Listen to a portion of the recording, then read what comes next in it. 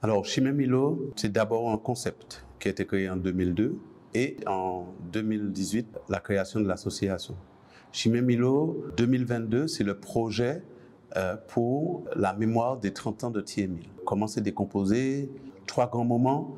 Un premier grand moment où on a un moment parole, un deuxième grand moment où c'est un concert-spectacle, et puis un troisième grand moment, comme d'habitude, avec initiation dans tout ce qui concerne le Belay. Pour parler du spectacle en lui-même, le spectacle qui va passer euh, à l'Atrium le, le 8 à partir de 19h30.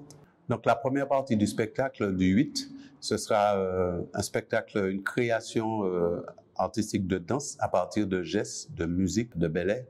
Et la deuxième partie, qui est une formation qui a été créée pour pouvoir rendre hommage en chant à Thiemil. Et cette partie est composée de plusieurs invités qui ont utilisé, donc plus dans le sens d'arrangement et d'interprétation, certains titres de Thiemil.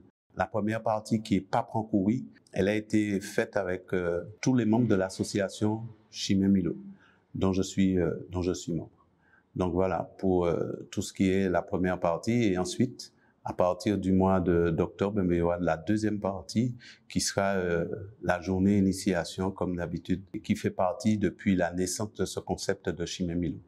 Pour rappel, rendez-vous le 8 à 19h30 avec l'association Chimemilo à Tropicatrium.